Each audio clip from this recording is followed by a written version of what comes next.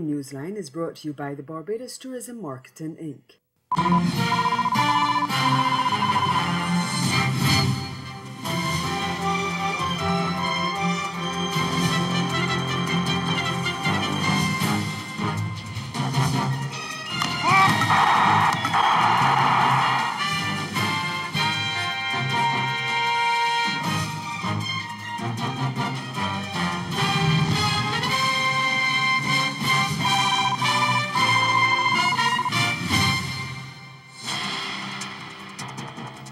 Antigua and Barbuda says Barbados is asking too much for its Liat shares. Our top story in Caribbean Newsline from Monday, July 15th. From the CMC News Center in Bridgetown, I'm Dawn Paris. Good evening. Antigua and Barbuda Prime Minister Gaston Browne says his government is not willing to pay an estimated 44 million US dollars being asked by Barbados for its shares in regional airline Liat. The two countries have been holding discussions on the acquisition of the Barbados shares, and last week, Browne told CMC News the talks were still ongoing, despite media reports in Bridgetown that they had broken down. Barbados, currently Liat's largest shareholder government, has indicated it wants to part with the majority of its 49.4% stake in the Antigua-based airline. Speaking on a local radio program on Sunday, Prime Minister Browne said if his country settled at the price being asked for those shares, it would be a steal for Barbados. And we are not in the process of giving away money. We're in the process of creating value and to get fair value for the people of Antigua and Barbuda. So as far as I am concerned, and I've said this you know, to the Prime Minister of Barbados, so she knows my thinking. The discussions cannot start at 44 million US. So she knows the position, and she has since come down. Now I can't go any further. Browne said he was disappointed the negotiating team would have contemplated agreeing to the U.S. $44 million deal. He said he's looking forward to, to an amicable settlement, but in the event that doesn't happen, Antigua and Barbuda will invest directly in the airline.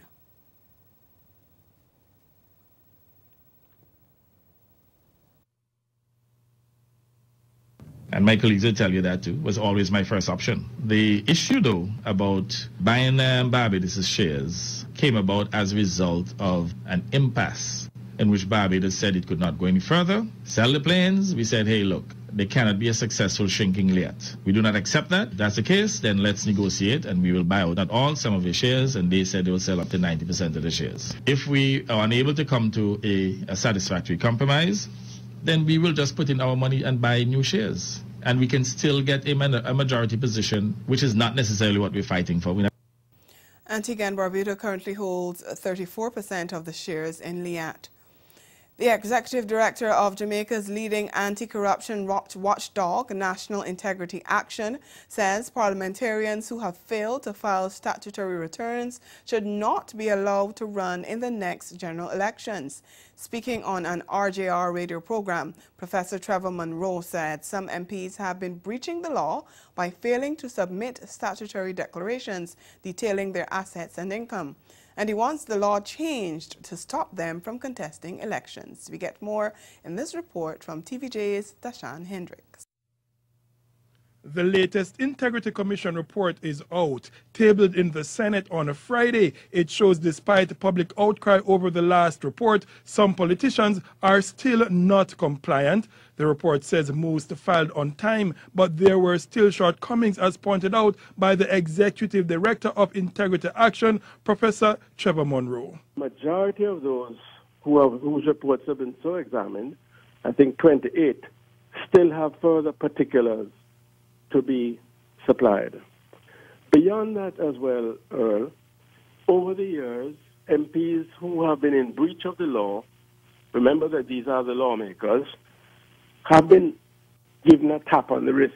He points to various news articles over the years which supports his argument like this November 20, 2011 Gleaner article showing MPs were fined but only paying $10,000. And this June 2009 article showing integrity charges dropped against three PNP MPs, saying the unacceptable delinquency among PNP and JLP MPs and the inadequate fines don't serve as a deterrent. And so he wants to see changes to the law which will see MPs being barred from running in any election if their integrity filings are not in good standing. I think that would be appropriate. It would give teeth.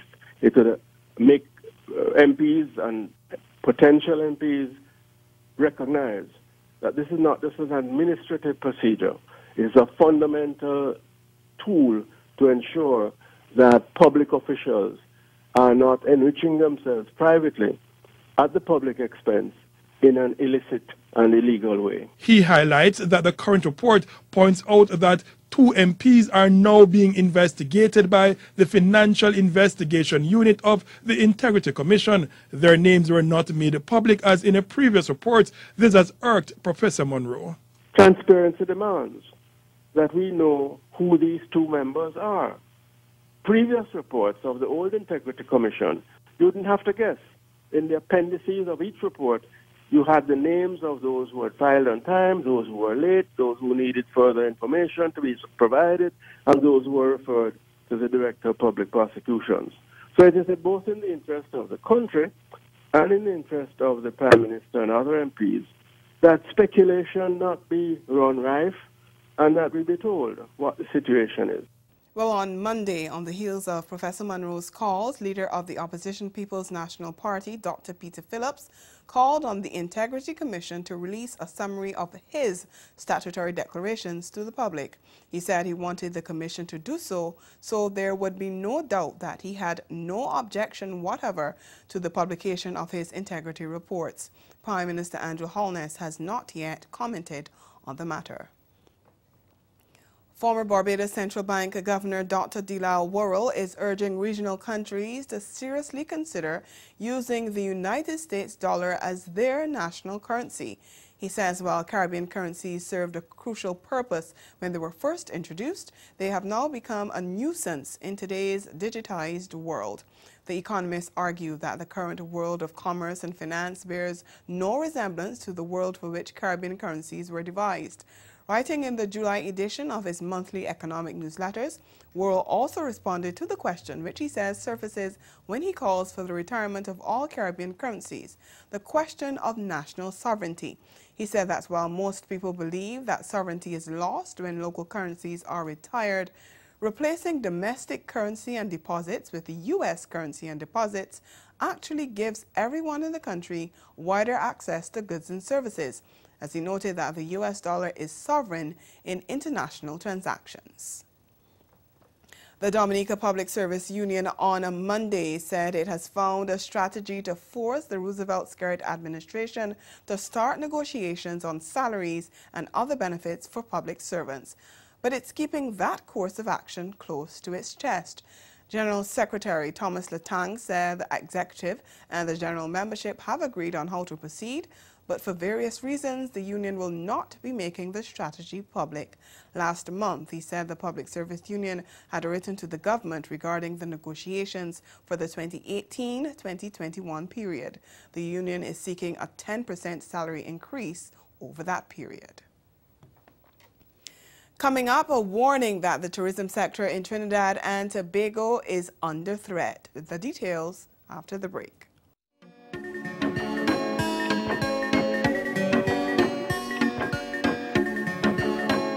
Welcome to this year's 50th Caribbean Broadcast Union Assembly on the island of San Andres.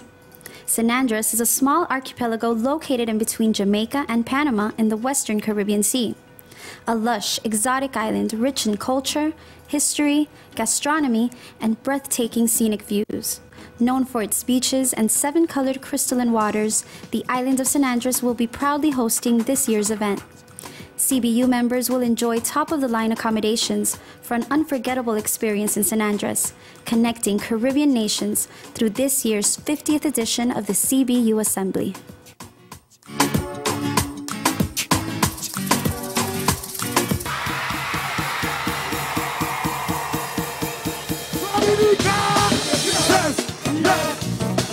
Afrique de promotion. Yes. We're making up. Yes. So what? Yes. Live it to love. Start to jump, jump, jump, jump, jump, jump, jump, jump, jump, jump. drop, drop, drop.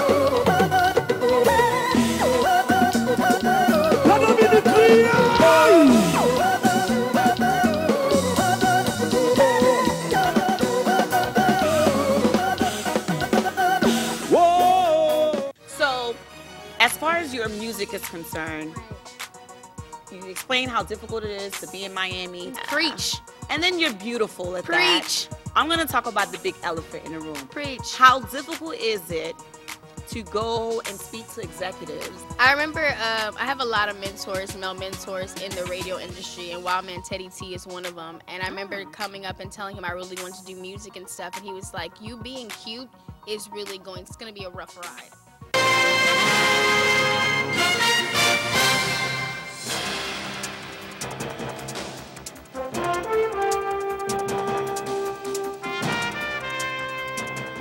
Welcome back. We continue with a warning that controversy, confusion, one-upmanship, and super egos are destroying Trinidad and Tobago's tourism sector.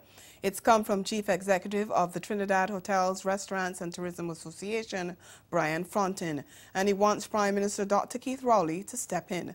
We get more in this report from CNC3's Jessie May Ventour.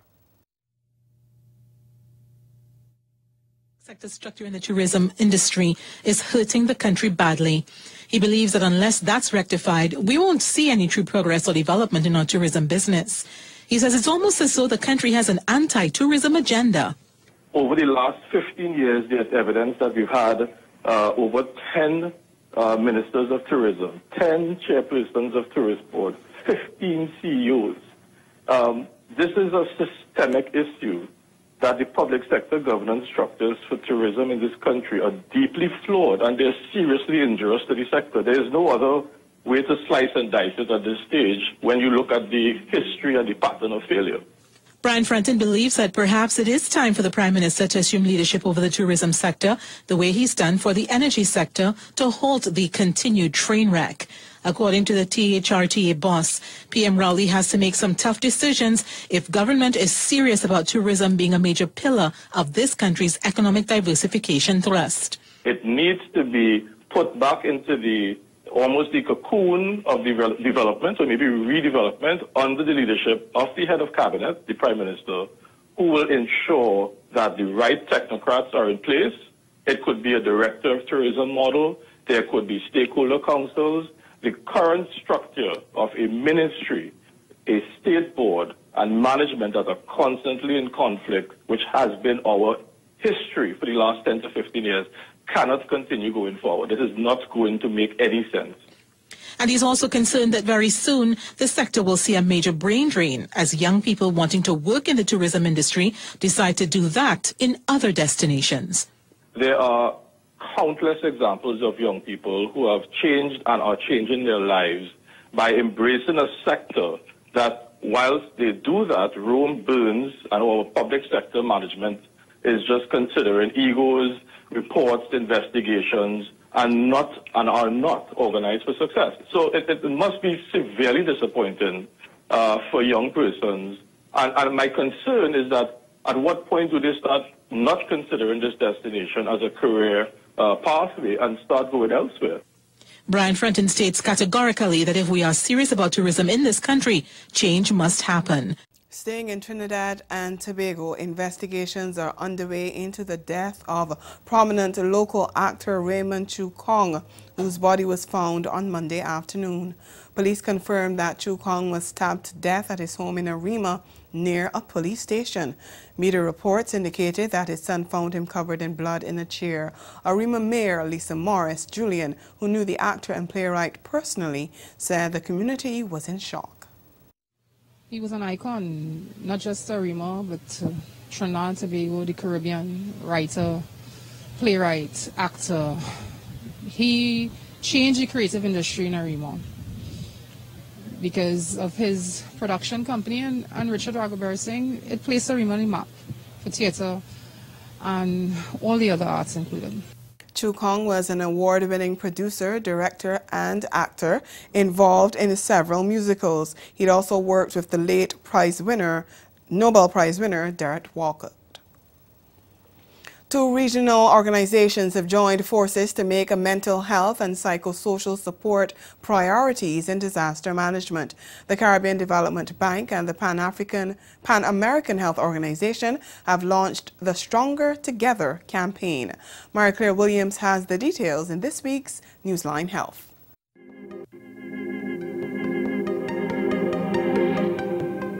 Following the deadly hurricanes of 2017, the CDB and PAHO are working to ensure that Caribbean nationals get the necessary mental health support in the event of a major disaster. Mental health is one area of disaster management that is often overlooked, but the Stronger Together campaign aims to change that. Experience has taught us that successful rebuilding after disaster needs people who are feeling well are able to cope and can access services if needed. In this regard, mental health and psychosocial support are critical for the rebuilding. The campaign is also about building the resilience of people to better cope with the effects of disasters. In that regard, PAHO has partnered with the Barbados Defense Force to create the first Caribbean field hospital. We have now a register of psycho psychological first aiders which are ready to be deployed. But we also need to ensure that whatever we do with the medical teams in the field hospital is also linked with the psychological first aid register so that the teams can go out together both as a physical medical team, so to look after the bodies, but also importantly as well to look after the minds.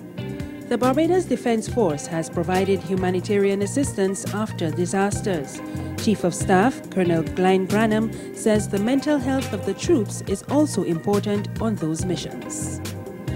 That it is not only important to respond with many helping hands to put to the plow, with men, material, stores, supplies, equipment, transporting ships and aircraft, but also with a comprehensive investment in the mental health the mental readiness and capacities to endure what, as we've seen in the video clips, are oftentimes regrettably very devastating impacts on our communities, on our nations, on our people, Caribbean sisters and brothers. Barbados' Health Minister, Lieutenant Colonel Jeffrey Bostic, says this is one of the most significant disaster response initiatives to be launched in the region. He shared his own personal experience dealing with natural disasters as an Army officer. I was exposed to a number of things which really, even as the commander of a task force for the regional security system in Grenada, I was certainly not prepared for. A number of things that I at the time said to my colleagues, these people shell shock, to use a military term, because at that time, post traumatic stress disorder was not really a term that we knew anything at all about. Bostic says it is important that countries like Barbados that have not experienced a major natural disaster for decades to adequately prepare. Mary Claire Williams, Newsline Health. Ahead in sport, West Indies lose to India A again. Stay with us.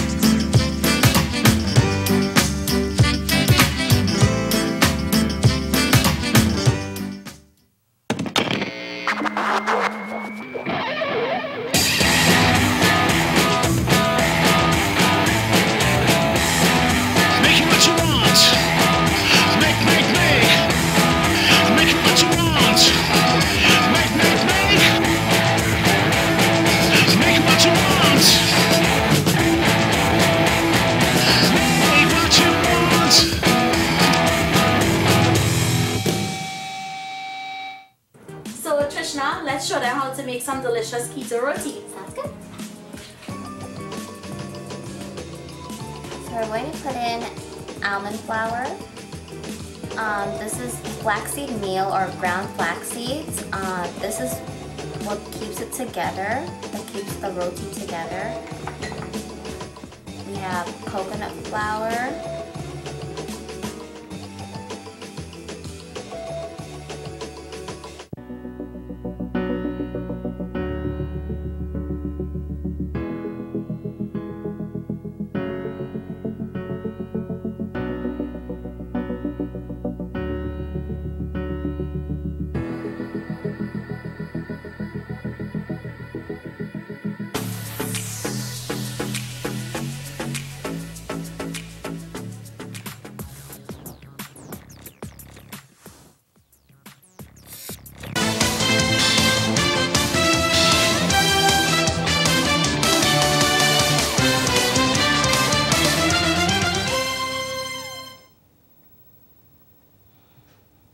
Raymond Reifer's defiant half-century went in vain on Sunday as West Indies A produced another inept batting display to slip to their second defeat in four days to India A. In pursuit of 256 at the Vivian Richards cricket ground, West Indies A slumped to 190 all out in the 44th over to lose by 65 runs and fall behind 2-0 in the five-match one-day series. Tottering on 108 for 7 in the 30th over, Reifer, promoted to number 3, hit the top score of 71 to rescue some pride for the hosts. Tail ender Romario Shepherd hit an accomplished unbeaten 34, while Samuel Ambrose got 24. But the West Indies A top order failed once again in a spineless display. The innings was wrecked by fast bowler Navdeep Saini, who claimed 5 for 46, while leg spinner Rahul Chahar supported with 2 for 47. Barbadian fast bowler Jofra Archer completed his fairy tale arrival in international cricket on Sunday, bowling a dramatic super over as England won their first ever World Cup by defeating New Zealand in a sensational finish at Lord's. Asked to bowl the decisive nerve-jangling over after scores were tied at 241, the 24-year-old who made his England debut just two months ago remarkably held his nerve to deliver for his adopted country. Let's look back at the super finals, super overs in the World Cup final. Outside edge, running up the hill. They can push for three because Buttler's very quick. Stokes is out on his feet, but he'll make it. Just a single. Gap, is it? Yes, it is. Just the one. It's a perfect Yorker. They've got to push for two. He lost it in the sun. Nicholls lost it in the sun. They'll get to. Last ball, Buttler. He gets it in a gap. He gets a boundary. 15 off the super over. A wide. It is a wide. It's a freebie for New Zealand. Number one again. Perfect Yorker. They've got to get two. Guptill will get back. He's quick enough. Ah, he's got it. It's huge. It's gone. It's out of the park. Here's Archer again. Neesham gets him again. Will they go for two? Guptill says yes, a misfield. More pressure. Neesham on strike. He's hit another gap. Guptill will come back. Don't worry about that. They've gone to the wrong end. Guptill was always going to make it. It's going to be on Martin Guptill. It's going to be on Martin Guptill. Two to win. Guptill's going to push for two. They've got to go. It's got throw's got to go to the keeper's end. He's got it. England have won the World Cup by the barest of margins. Switching sports now, the Guyana Football Federation has decided to take the country's senior team out of the Olympic qualifiers.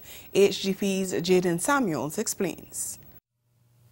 After much deliberation, Guyana has withdrawn from the CONCACAF Men's Olympic qualifiers scheduled for July 17 to 21 in Jamaica. According to GFF President Wayne Ford, this decision was resorted to as the organization has taken a decision to direct its resources to the preparation of players for the CONCACAF Nations League, which kicks off in September. He noted, however, that the players will continue their weekly training program. Many of the Caribbean Football Union countries have been forced to evaluate their international participation given the demanding CONCACAF annual tournament calendar. Other Caribbean Football Union countries, including Trinidad and Tobago and Suriname, have also opted out of the Olympic qualifier. The Guyana Football Federation has participated in every international tournament since my administration has taken office, Ford said. However, with Six Nation League qualification games ahead of us, we are forced to make difficult but necessary financial decisions. According to CONCACAF, the preliminary round of the tournament would have been 16 participating teams placed in four groups. The winner in each match will qualify for the CONCACAF Men's Olympic Qualifying Championship. The 15 remaining teams in the Caribbean are Antigua and Barbuda, Barbados, Cayman Islands, Cuba, Dominica, Dominican Republic, Grenada, Haiti, Jamaica, Puerto Rico, St. Lucia, St. Kitts and Nevis, Suriname, Trinidad and Tobago, and U.S. Virgin Islands. This tournament will enable representation at the 2020 Summit.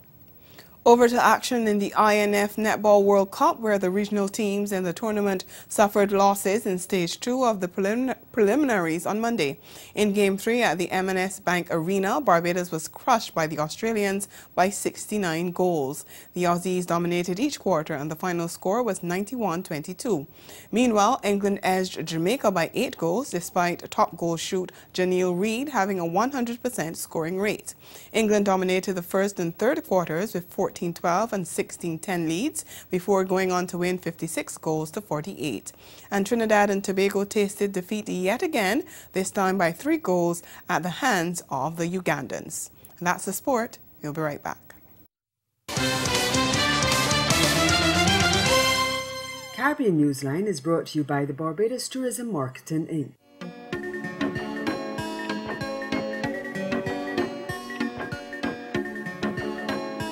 Welcome to this year's 50th Caribbean Broadcast Union Assembly on the island of San Andres. San Andres is a small archipelago located in between Jamaica and Panama in the western Caribbean Sea. A lush, exotic island rich in culture, history, gastronomy, and breathtaking scenic views. Known for its beaches and seven colored crystalline waters, the island of San Andres will be proudly hosting this year's event.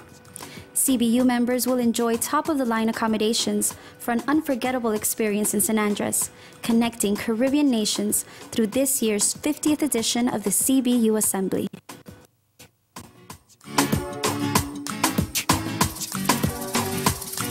So former Vice President Joe Biden is the frontrunner by a very wide margin in the way too early race for the 2020 Democrat Party nomination for president. Now, I have legitimate concerns about a potential President Biden because of where he wants to put his hands. And no, I'm not referring to that issue. I'm talking about his desire to put his hands or the hands of our government deeply into our pockets. Joe Biden is determined that the flood of illegal immigrants violating our border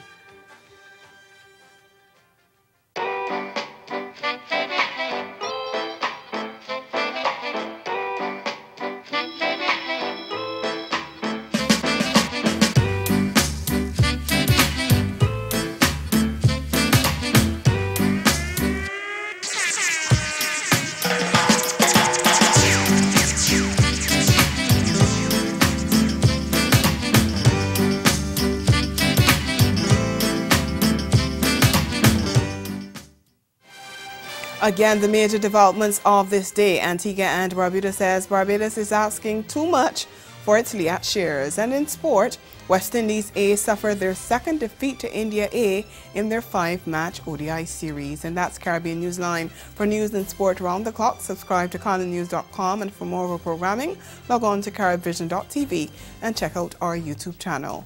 We'll be back here again tomorrow, but from all of us at CMC News, thank you for watching and have yourselves a good night.